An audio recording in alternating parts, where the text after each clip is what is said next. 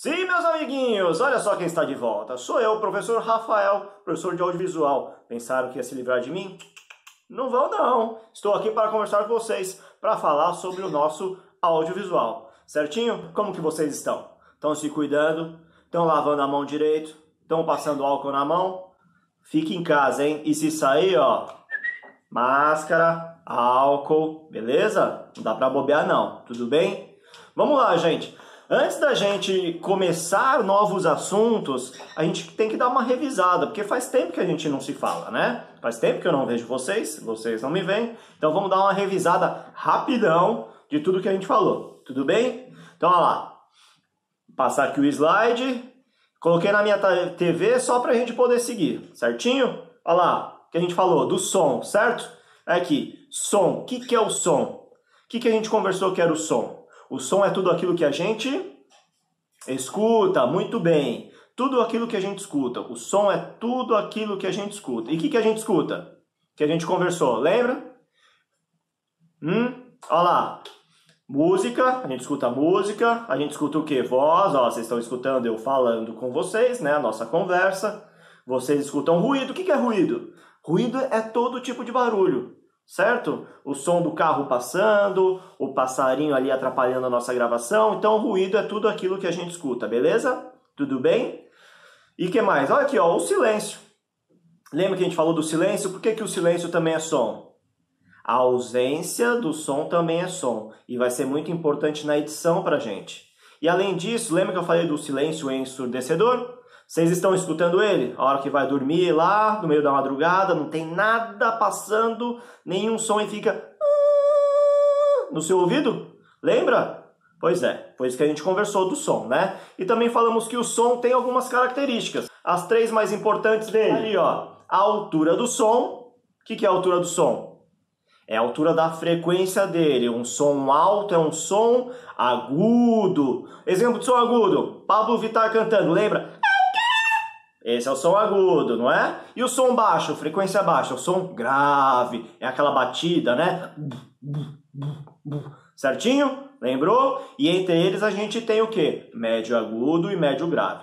Fechamos? A altura do som? Beleza. Depois, intensidade do som. O que é a intensidade do som? É o volume, certo? É o quanto de força esse som vai ter. Então o volume do som é a intensidade. E é o símbolo lá que eu falei, D e B. Tá vendo o símbolozinho dele aqui, ó? Deixa eu seguir pela câmera aqui, ó. Decibéis significa decibéis é a intensidade do som. É o símbolozinho, ó, D e B. Então toda vez que a gente vê esse símbolozinho, principalmente na edição, significa que a gente está mexendo na intensidade desse som. Tudo bem? E o outro lá, outra característica importante é o timbre do som. O que é o timbre? É a característica deste som. É a característica da natureza que vai dizer para a gente se esse som é de determinado lugar ou de outro. Dois sons agudos, eles não vão ser exatamente iguais, eles vão ser diferentes por causa do timbre. Por exemplo, a nota Dó. Se você tocar a nota Dó no violão, ela é de um jeito. Se você tocar a nota Dó num piano, vai ser de outro jeito. Você consegue diferenciar esse som, porque cada um tem o seu timbre. E eu falei de um exemplo para vocês que era o que? Do Pablo Vittar, o som agudo, né? E a MC Melody que faz o seu falsete também, não é? Mas você sabe a diferença de um e de outro, porque são timbres diferentes. Tudo bem? As três características importantes do som: altura, agudo, médio agudo, médio grave grave. Intensidade do som é o volume, que é medido em decibéis, símbolozinho D e B, e o timbre, que é a característica desse som. Legal? Tudo bem até aí? Lembrou? Então vamos seguir. Seguindo, então, a gente chega o quê? A trilha sonora. Certo? O que é a trilha sonora? É música, é efeito sonoro, são ruídos, ou seja, qualquer tipo de som que acompanha algo tá? Então, para algo ser uma trilha sonora, precisa acompanhar algo. Uma música só por uma música é uma trilha sonora? Não. Ela tem que acompanhar algo. Se essa música acompanha um filme, ela é a trilha sonora de um filme. Certinho? Então, uma música que vai servir para a dança, ela é a trilha sonora desta dança. Tudo bem? Então, trilha sonora são todos os sons que fazem parte, que acompanham algo, seja filme, seja novela, seja seriado, seja espetáculo de dança, seja teatro, show, musical e por aí vai. Legal? E a trilha sonora que a gente ia fazer, que a gente fez, né? A gente pesquisou bastante, foi por quê? O espetáculo. Olha meu passarinho voando aqui. Tá doido, doido, doido. Então vamos seguir. É, o espetáculo de dança sob as asas da borboleta, não foi? Pesquisamos algumas músicas, foi passado para a professora Ana e para a professora Stephanie e a gente chegou em determinado resultado. Mais para frente, algumas aulas mais para frente, a gente vai ver isso. Legal? Vamos lá, seguindo aqui, a gente chega aonde? Na edição de áudio. Então, para edição de áudio, precisamos o quê? Do computador. Vamos lá para o computador. Beleza, meus amiguinhos? Estou aqui de frente ao meu computador, certo? Vocês não estão vendo ele, mas eu vou apertar uma coisa e pronto. Olha só que eu deixei aberto o nosso software, nosso Audacity, certo? Deixa eu tirar um aqui para poder melhorar o meu retorno de voz. Então, meus amiguinhos, deixei aqui aberto o nosso software de edição, nosso amiguinho chamado Audacity. Você pode baixar no seu computador. Você tem um computador? Deixa eu voltar aqui, ó. Deixa eu voltar a ver você em tela cheia. É o seguinte, você tem um computador, você pode baixar esse software para treinar. Beleza? É só ir lá, ó, eu vou deixar aqui Audacity, vou deixar aqui ó, escrito. Você vai no Google, procura, entra no site, faz o download, instala. É gratuito, não precisa pagar nada. Belezinha? Vamos voltar então para o software aqui. Vamos lá, gente. Eu vou abrir um carinha aqui que vocês conhecem já, que a gente trabalhou essa música, mas para vocês ficarem atentos, lembrarem algumas coisinhas, tudo bem? Vamos lá, a música Human. Olha só o que acontece, eu fiz arquivo, importar, áudio e escolhi a música, certo? Assim que a gente abre a nossa música no nosso software. Vamos lá, o que, que apareceu para gente? Esse, todo esse desenho que apareceu é o nosso espectro de áudio. Então, isso aqui, esses desenhos, é o espectro do áudio, é como o som vai se desenhar visualmente para a gente na edição. Tudo bem? E o que, que é importante a gente enxergar, ver nessas ondinhas? A gente consegue uh, verificar características do som só de olhar, sem escutar, certo? Por exemplo, essa parte que eu estou selecionando aqui, ela visualmente é diferente dessa, certo? Esta outra aqui, ela é diferente dessa, opa, dessa, mas é parecida ou igual a essa, certo? E essa aqui, que é mais juntinha, é igual a essa outra parte aqui. O que, que a gente pode perceber?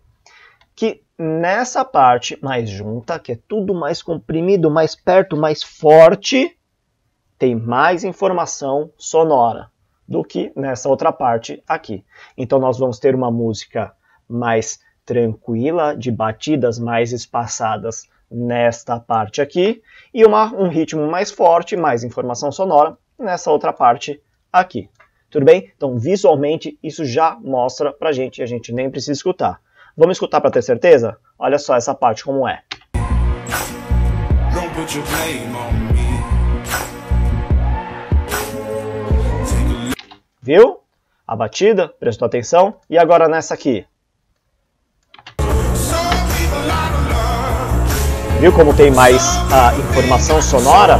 Tem muito mais volume, mais coisa acontecendo?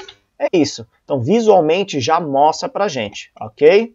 Igual naquele finalzinho. Lembra que a gente mudou esse finalzinho aqui, ó?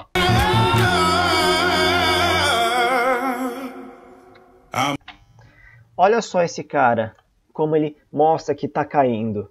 Então, visualmente, a gente sabe que aqui tem uma, uma baixa, uma, suavi, uma suavização para depois continuar.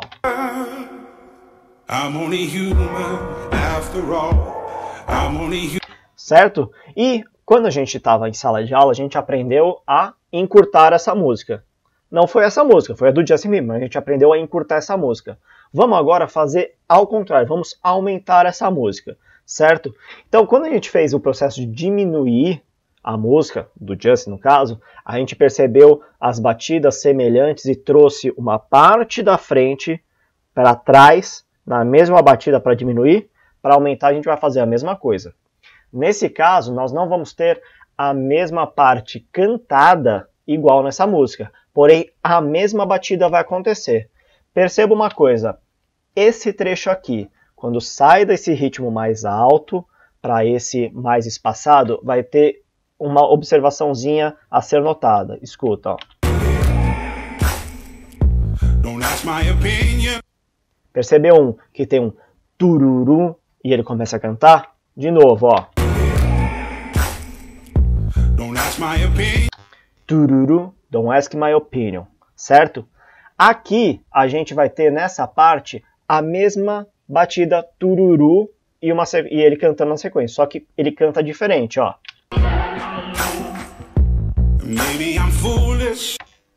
Percebeu? Tururu, maybe I'm foolish. Que é diferente daquela, mas o tururu é igual, ó. Certo? Então a gente vai pegar esse trecho aqui, daqui para frente, e vamos levar para essa outra parte, para aumentar isso. Vamos fazer na prática, ó. Vou adicionar uma nova faixa para ter uma faixa embaixo para poder trabalhar. Lembra? Legal? Então faixa, adicionar nova faixa de áudio estéreo, porque é um áudio estéreo. Lembra? Direito, esquerdo, tem os dois ali. Beleza. Abrir. Temos uma faixa igual, certo? Agora eu vou pegar essa parte que é do tururu, tá aqui, ó. Beleza? Vou pegar tudo, certo? E vou copiar. Olha aqui, copiar ou Ctrl C, beleza? Vou clicar na faixa de baixo e vou colar. Olha a pastinha aqui de colar. Colei. Ou Ctrl V. Tudo bem? Legal? Então perceba que eu, aquele trecho que eu selecionei, eu copiei e colei embaixo. Certo? Então eu vou pegar minha ferramenta de mover aqui em cima e vou levar essa parte que é do tururu até o outro tururu, que é mais ou menos aqui. Certo? Beleza? Só que lembra que no áudio a gente tem que ser perfeito? E eu sempre falei isso para vocês. No áudio a gente tem que ser perfeito. E para ser perfeito no áudio a gente precisa dar zoom. Vamos dar o zoom para enxergar de pertinho essas ondas. Vamos lá. Conforme a gente vai chegando perto, olha só, a gente começa a ver similaridade aqui, ó. Olha só o meu mouse, mostrando aqui é igual a aqui. Certo? Então vamos ajustar, vamos deixar certinho um embaixo do outro. Opa, ferramenta mover e vamos lá. Vamos levar para o lado, beleza? Vamos chegar mais perto? Vamos chegar mais perto e vamos ajustar isso. Quando a gente chega bem perto, a gente consegue ser preciso. Quanto mais perto, mais preciso a gente chega, certo? Olha só, olha quando eu coloco o mouse lá em cima, o que acontece? Faz um risco branco, ele ajuda a gente a ver se está certinho ou não. Tá certinho? Tá certinho, beleza. Vamos dar o zoom out. E agora a gente tem o quê? A música dobrando nas partes. Não são iguais, mas elas estão dobrando, certo? Então essa parte de cima aqui, eu não preciso mais. Porque a partir desse trecho, quem manda é embaixo. Tá vendo que a música está estendendo? Ela inicialmente tem 3 e 15. E aqui que eu estou ajustando ela, ela vai ter 4 e 30. Olha só, Vou tirar esse trecho. Beleza? Tirei o trecho. Vou dar zoom para chegar pertinho. A partir desse ponto aqui, ó, desse aqui para cá, tem que ser só a trilha de baixo. Então eu vou tirar esse excesso aqui. Não quero mais esse cara, ó. Vou, vou colocar para você escutar, é o tururu, ó. Viu? Então esse cara aqui que é igual são os tururu, ó. Vou até deixar eles junto aqui para você escutar, ó. Viu? Que é igualzinho. Beleza? Então aqui eu não preciso e aqui é outra parte. A gente pode fazer o crossfade disso aqui. Certo? Crossfade o que, que é? Cruzamento das faixas. Uma faixa vai sair e a outra vai entrar. A faixa de cima sai e a faixa de baixo entra. Elas vão se cruzar. Crossfade de faixas. Olha só lá nos, nos efeitos. Crossfade de faixas. Aqui o meu tá em inglês. No seu, pode ser que esteja em português igual na nossa sala de aula, então vai estar crossfade de faixas. Aqui, como está em inglês, então é crossfade de tracks, ok? Belezinha. Vou colocar no constante gain, padrãozinho lá e vou dar OK. Processou, uma saiu, outra entrou. Vamos ver como tá?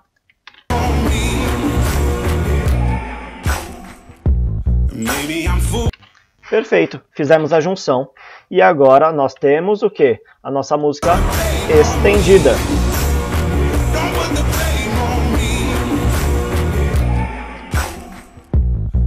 Viu? E aqui a nossa música ficou com 4,30. Beleza? Então a gente fez o processo contrário. Legal? A gente tinha aprendido na sala de aula a diminuir e agora a gente fez a extensão dessa música. Legal? Então é isso, gente. Então deixa eu voltar aqui em tela cheia para falar com vocês. Olha, pronto. Então é o seguinte, gente. Essa aula foi isso. Relembramos um pouco de tudo que a gente falou e alguns passos da edição, só que de maneira diferente daquilo que a gente viu em sala. Certo? Próxima aula, mais coisas de edição. Mais coisas para a gente aprender. Legal? Tudo bem? Gente, não se esqueça fique em casa, tá? Lava suas mãos direitinho, não esqueça de nenhuma parte das suas mãos, certo? Lava direitinho, passa o álcool em gel e não sai de casa. Se sair de casa por necessidade, máscara, usa máscara, tá legal? Eu me importo com você, nós nos importamos com você, legal? Tchau, gente, até mais.